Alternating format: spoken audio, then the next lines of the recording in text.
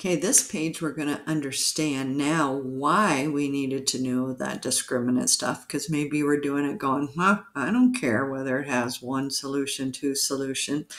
Well, what we're going to learn in this section, well, same section, but this part of the 7.2 is that the determinants tell us about the graph.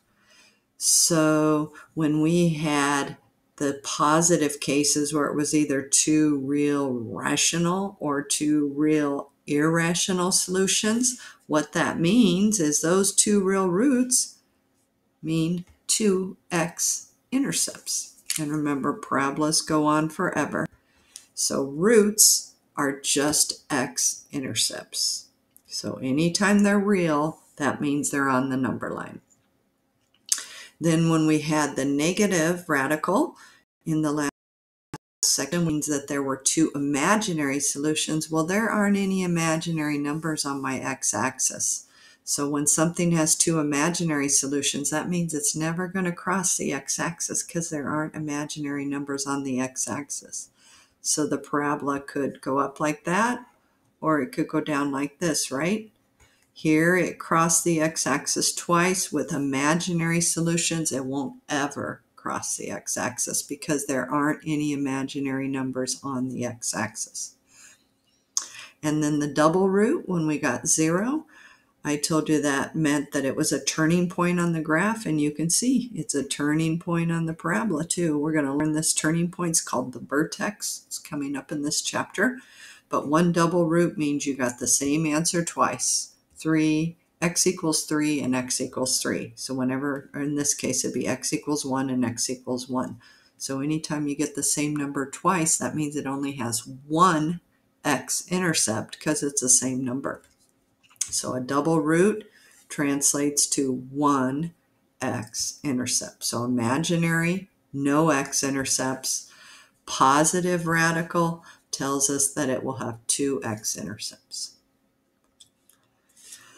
And then just a reminder to find y-intercepts because this next section is going to tell us uh, y-intercepts are when you make x equals 0. And why is that? Because every point on the y-axis has x equals 0, 0, 1, 0, 2, 0, 3.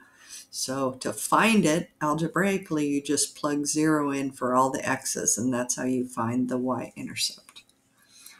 So what we're doing is gearing up. I have these two 10-point problems on the test. If you printed your practice test, you'd see that. Um, and they have us find the vertex, the x-intercepts, the y-intercepts, the axis of symmetry, the domain, the range. So we're just starting to put the pieces together. So this has two of those pieces on it, x-intercept, y-intercept. Oh, and then it also has the graph on the test. So they're two big 10 pointers because that's really what our whole class is about, trying to find the x-intercepts. That means solving a quadratic equation, which we know how to do by factoring, quadratic formula, completing the square, square root property. So we're going to use all those to help us find the x-intercepts. So solve that. That finds the x-intercepts. For the y-intercept, like we wrote above, that means make x 0. So put your zeros in. And then we can start seeing the graph come to, because if you have two x-intercepts on a graph and a y-intercept, you can kind of start drawing the picture. So find the discriminant. So we do the same thing we did in the last section. A is 1, B is 2, C is negative 8. And discriminant remembers b squared minus 4ac. So we do 2 squared minus 4 times 1 times negative 8. So 4 times a times c. And then, like I said before, type that into your calculator so you don't make any sign errors.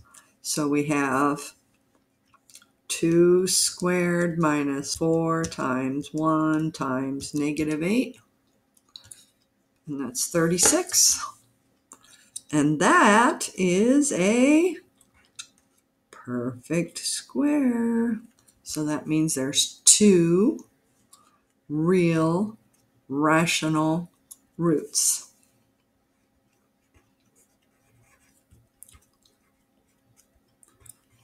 But what that means from the chart above, two real rational roots translates to 2x intercepts.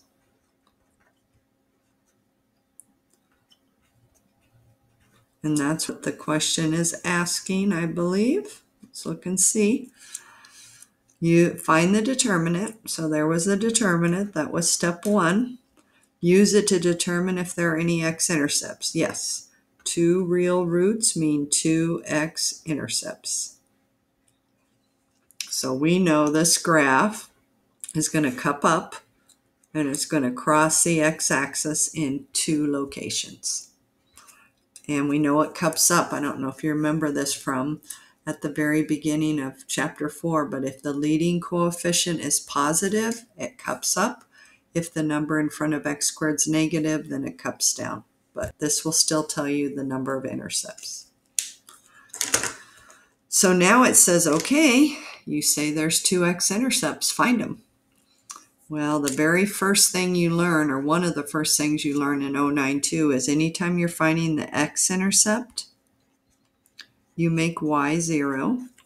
And anytime you're finding the y-intercept, you make x 0. That's because all the points on the x-axis have y 0. 1, 0, 2, 0, 3, 0, 4, 0, 5, 0. So the minute I see this, this is what I write down as my reminder. Oh yeah, don't forget, make y 0. So from back in your 09 days or high school days, you should know this is y. Function notation is what we use in place of y.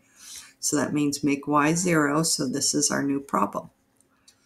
And here we are back at chapter 4 again. Remember when I told you that was our most important chapter of the semester? How many times have I said, oh, this problem's from chapter 4. Oh, this problem's from chapter 4. Well, here it is again. This problem's from chapter 4. If you have a quadratic second degree equation set equal to 0, you first try and solve by factoring, and it's double bubble. Are there factors of 8 that subtract to 2? Yes, there are, 4 and 2. This says the signs are different. This says the largest one's plus, so positive 4, negative 2. 4 minus 2 is 2. 4 times negative 2 is negative 8. So then we plug them in, x plus 4, x minus 2. And then using another thing we learned in chapter 4, if A times B equals 0, either A is 0, let's go up here,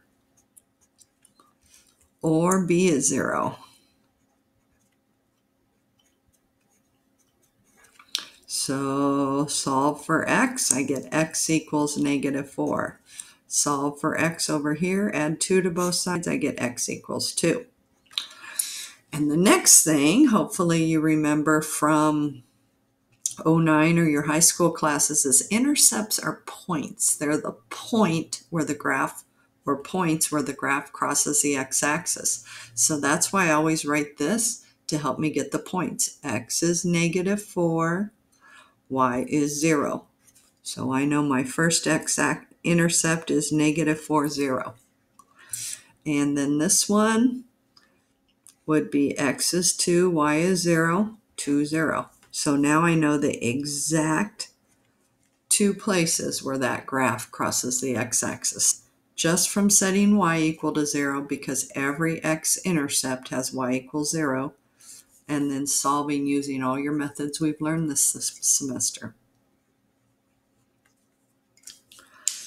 Okay, last but not least, we're going to find the y-intercept. That one doesn't hardly take any work. All you have to remember is, oh, y-intercept means make x 0.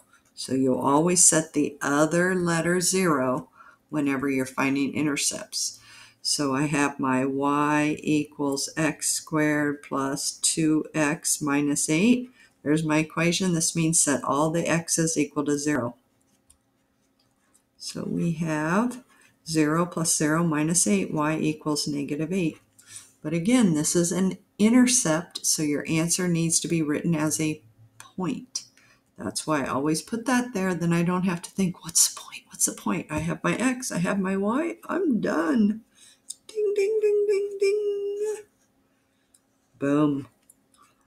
So there's the 2x. So now I know this point is 0, negative 8 when I go to graph it. So that gives me my two places it crosses the x-axis. This gives me the one place it crosses the y. And I have a pretty good parabola after those three points are in. So now would be a good time to turn off the video. Try number 10 on your own because this is 20 out of 100 points on your test. So this is a big part of your test is finding the intercepts and graphing. So I would try one on your own right now and then turn it back on and you can check with me.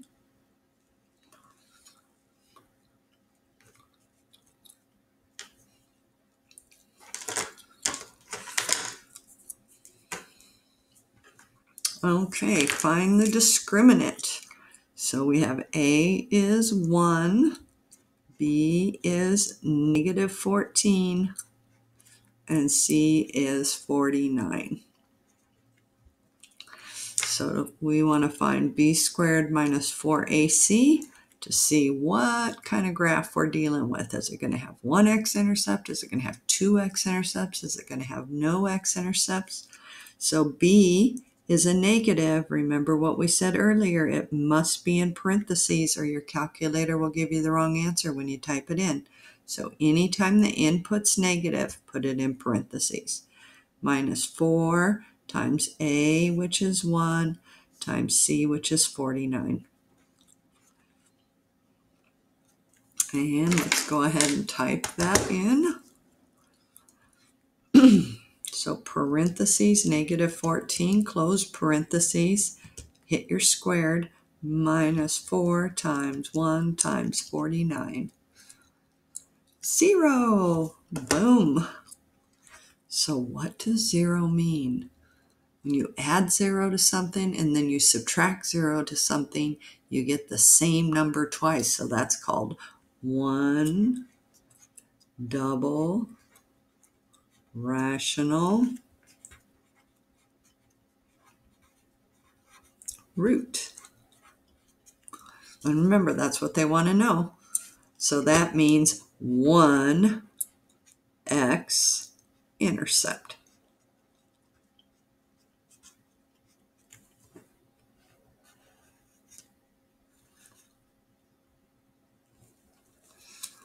So 1 x intercept. So I can already picture what my line's going to look like. Line, I can't believe I said line. I was doing 092 notes earlier today. So I was in the line mode. So we know the parabola is going to cross the x-axis once. We know the leading coefficient's positive, which means it's going to cup up. So I already know my parabola is going to look like this. Don't know where it crosses the Y yet. I'll find that. But I can do a brief sketch and know that it's going to look like this. 1x intercept means it parabola has to sit on the x-axis to only have one. Leading coefficient positive means it cups up. So now let's go ahead and find that. So that's the answer to this one. Find if there are any x-intercepts.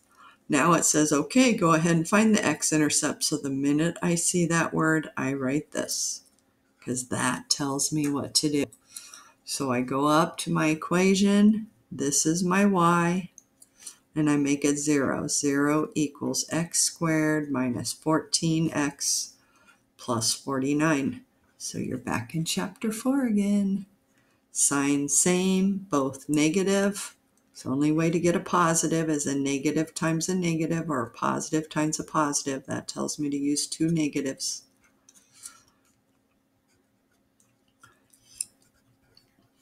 And factors of 49 that add to 14 are 7 and 7. And if A times B equals 0, either A is 0 or B is 0. And you see we're going to get the same number twice for answers? And isn't that what we knew was going to happen? Because it says one double. I know I'm going to get two solutions. All quadratics have two solutions, but this is telling me they're going to be the same number. So x equals 7, and x equals 7.